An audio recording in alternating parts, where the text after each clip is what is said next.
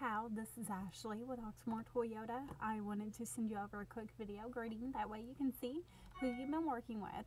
Thank you for talking with me about your interest in working with us for your next vehicle purchase. Once you fill out your online credit application, it will come directly to me and I will have our manager pull it. That way we can see how we can help you. If you need anything in the meantime, feel free to give me a call at 502 214 7166 or just reply to this email. Thanks. Bye.